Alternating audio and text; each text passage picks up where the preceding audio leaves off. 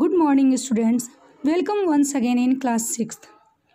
Students, in previous classes of class 6th, we studied from geography section.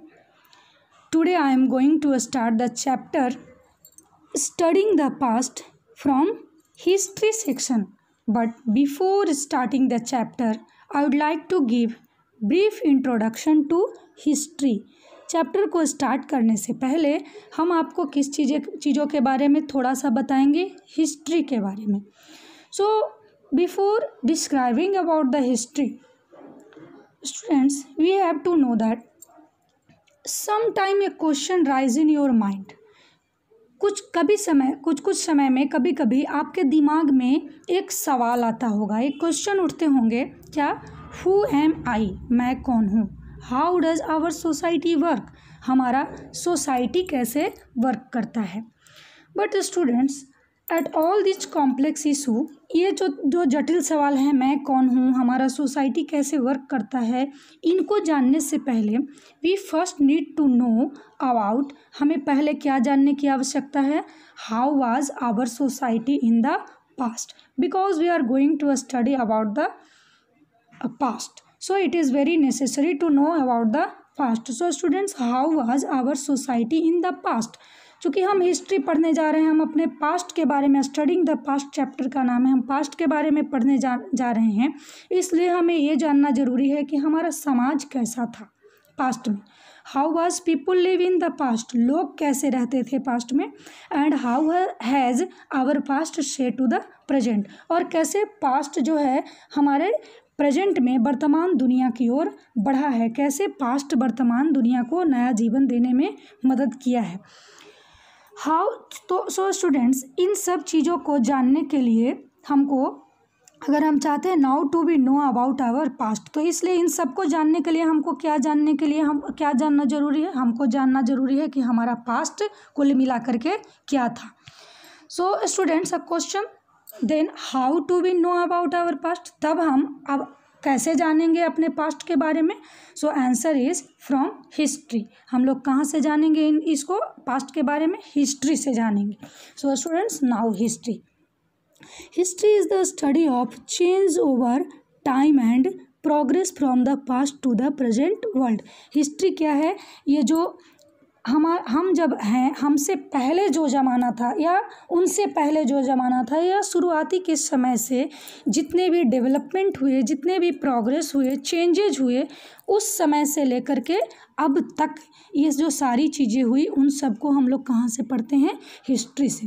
And in other word you can also say say that कि history is the study of changes progress and development from the past to the present in systematic description and in chronological order.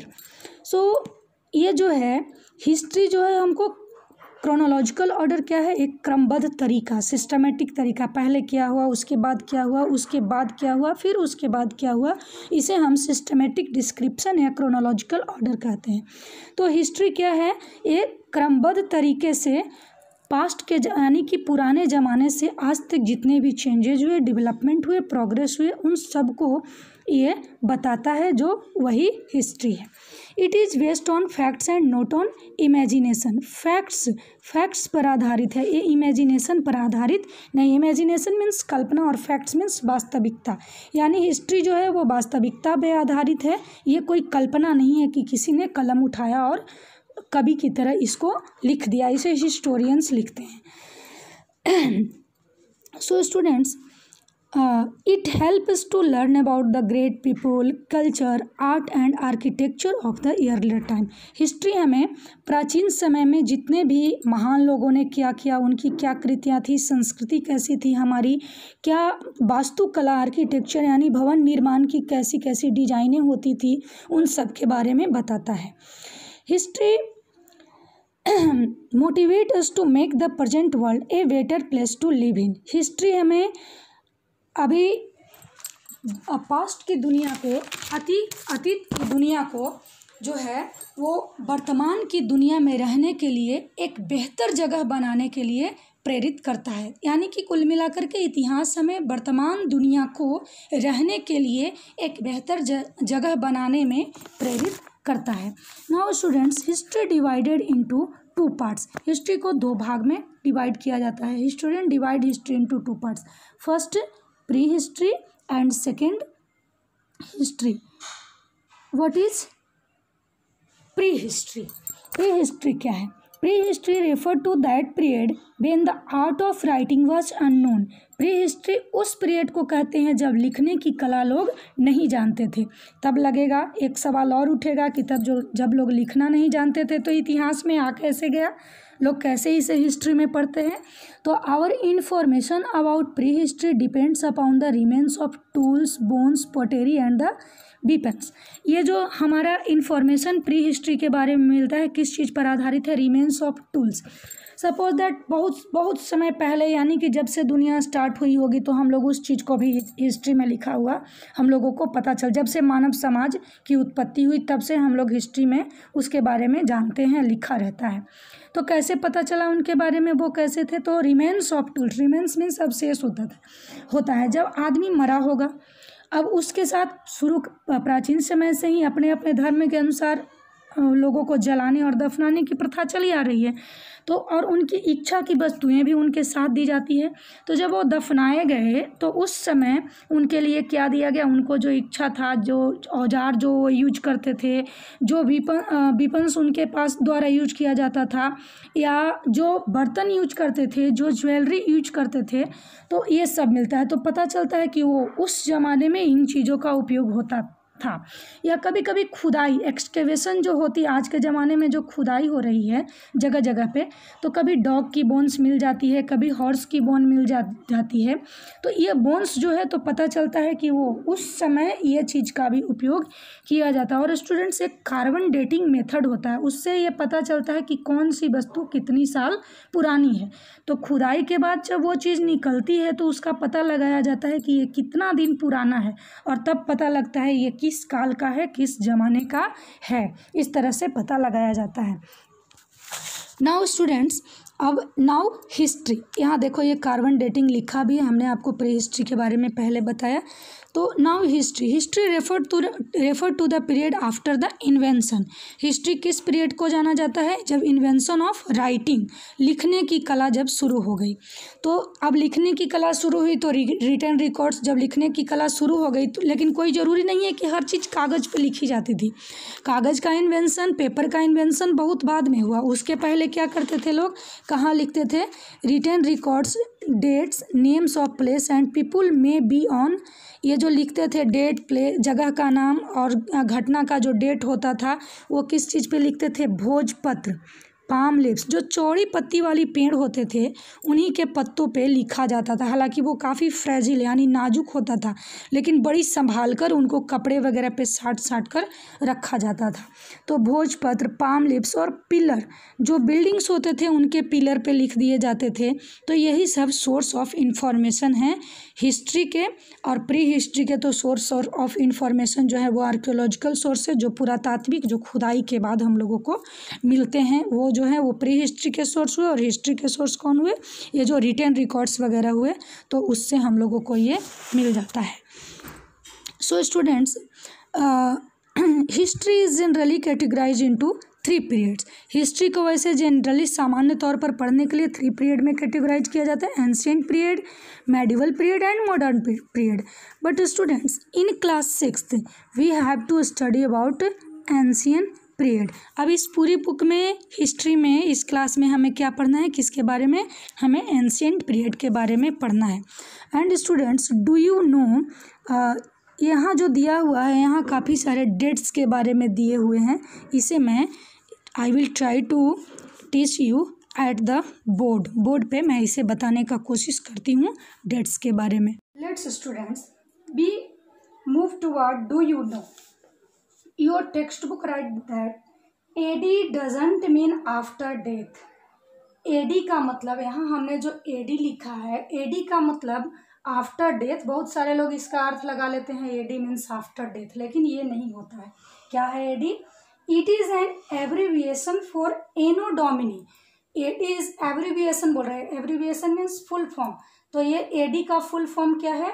Anno Domini Anno Domini के लिए abbreviation का काम कर रहा है AD which is a Latin phrase यह एक Latin phrase है एनोडोमिनी एक लैटिन फ्रेज है meaning in the year of our Lord जिसका मतलब होता है हमारे भगवान का साल। अब referring to the year of Christ birth अब ये एनोडोमिनी टर्म जो जिसका मतलब कह रहा है कि in the year of our Lord इसका जो मीनिंग हुआ अब ये किस शब्द के लिए रेफर हो रहा है? इसका मतलब लोग सामान्य तौर पर क्या जनरल आदमी जो लोग होते हैं वो लोग क्या बताएँ कि क्रिस्ट बर्थ क्रिस्ट का यहाँ पे क्रिस्ट बर्थ क्रिस्ट का जन्म जिस दिन हुआ, जिस समय से हुआ, उस समय ये इस इस टर्म को एडी मान लिया गया। और तब के बाद से जो वन ईयर इनके जन्म के वन ईयर बाद two year three year fourth year fifth year ऐसे करके आगे बढ़ते गए और हम आज कितने आ गए? टू थाउज़ेंड ट्वेंटी एडी में आ गए। इनका जन्म हुआ, उसके बाद आज इतना दिन हो गया।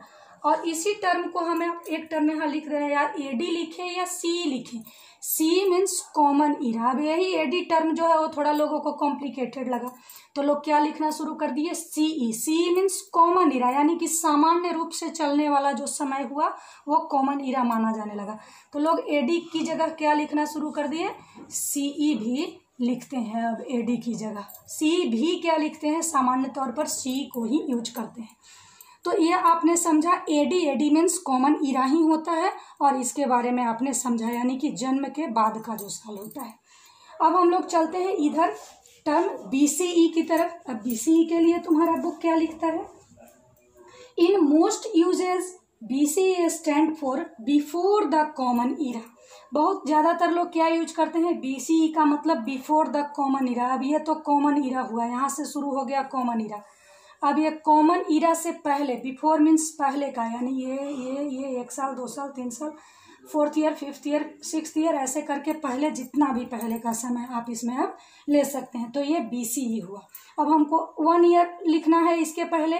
कॉमन ईरा से पहले वन ईयर लिखना है तो लिखेंगे one B C two year पहले की बात लिखना है तो लिखेंगे two B C E three year पहले का लिखना है तो थ्री बी सी ई लिखेंगे, ऐसे करके लिखते चले जाए, चले जाएँगे। तो बी सी ई का मतलब क्या हुआ? Before common era and C stand for common era ये आपको हम पहले ही बता दिए हैं सी का मतलब कॉमन ईरा हुआ। B C E is use in place of B C अब देखो बी सी ई का प्रयोग बिफोर बी सी की जगह पर या बी सी का प्रयोग बी सी ई की जगह पर हम लोग कर सकते हैं या करते ही हैं। And C E use in the place of A D A D की जगह हम लोग सी ई का भी प्रयोग कर सकते हैं या करते भी हैं। तो यानी कि ए डी मीन्स सी ई और B C E means B C अब कन्फ्यूज़न की ज़रूरत नहीं है कि यहाँ बी सी ई लिखा है और यहाँ बी सी बी सी लिखा है। इसका मतलब ये अलग अलग हुए, नहीं सेम यहाँ ए डी लिखा है और यहाँ सी ई लिखा है। इसका मतलब फिर अब क्या हुआ? दिक्कत हो जाएगा कन्फ्यूज़न हो जाएगी, ऐसा नहीं। ए डी लिखा है मीन्स सी ई बात बराबर है दोनों में। अब हम लोग आगे की ओर चलते हैं कि अब जैसे हम लोग को समय निकालना है कि टू हंड्रेड बी सी ये टू हंड्रेड बी सी और टू हंड्रेड एडी में कितने ईयर का अंतर है? अब मान लिया कि यहाँ हमने ज़ीरो ले लिया। अब ज़ीरो से इधर प्लस टू हंड्रेड हो गया। है कि नहीं? प्लस टू हंड्रेड आगे हम लोग बढ़े। उसके बाद हम लोग अब टू हंड्रेड पीछे भी जाएँगे। समझे कि नहीं? अब टू हंड्रेड पीछे को तो ये दोनों को हम लोग क्या कर लेंगे? प्लस कर लेंगे। यानी कि कितना साल इक्वल टू कितना हुआ? फोर हंड्रेड ईयर जो है, वो फोर हंड्रेड ईयर्स का अंतर हुआ यानी कि दो साल पहले, अब हम लोग मान लो कि दो आपको अधिक लग रहा होगा, हम लोग दो दो साल का लेते हैं। यहाँ पे हम लोग प्लस किए, मान लिए कि दो टू ईयर टू ईयर्स इधर बाद ज़ीरो से टू ईयर्स बाद, और इधर हम लोग टू ईयर्स पहले। अब यहाँ पे कितना का अंतर हो गया? यहाँ से यहाँ में कितना का अंतर हुआ? यानी कि दो साल तो यहाँ आते आते लग गया। तो ये दो साल ये और फिर दो साल यहाँ आते आते यानी कि दो साल ये। तो इक्वल टू फोर ईयर्स हुआ कि नहीं? तो इस तरह से हम लोग जब, हम लोग बी सी से ए डी तक का समय ज्ञात करते हैं कि कितना का अंतर है तो हमेशा हम लोग उसको प्लस कर देते हैं। समझे कि नहीं? दोनों को प्लस कर देते हैं। चाहे इधर मान लो कि पाँच सौ बी सी रहे। और इधर में फिर फिर पाँच सौ बी सी ई रहे, या पाँच सौ बार बार एक ही टर्म नहीं। मान लीजिए कि इधर टू हंड्रेड बी सी रहे। सॉरी पाँच hundred five two hundred C E रहे। अब इसको हमको निकालना है कि पाँच सौ बी सी से टू हंड्रेड सी ई में कितने का अंतर है? तो इसमें हम लोग कर देंगे five hundred plus two hundred equal to कितना आ जाएगा? सेवन हंड्रेड ईयर्स का इसमें अंतर है। और इधर वाला तो नॉर्मल है, आप इसको ऑलरेडी कर लोगे कि टू हंड्रेड से थ्री हंड्रेड जो है सी उसमें कितने का अंतर हुआ तो आप इसमें माइनस कर देते हैं हम लोग। इसको तो आप लोग ऑलरेडी समझते हैं कि कितना साल का हुआ। लेकिन इसमें कन्फ्यूज़न होता है तो इस तरह ये समय का था स्टूडेंट्स एंड थैंक्स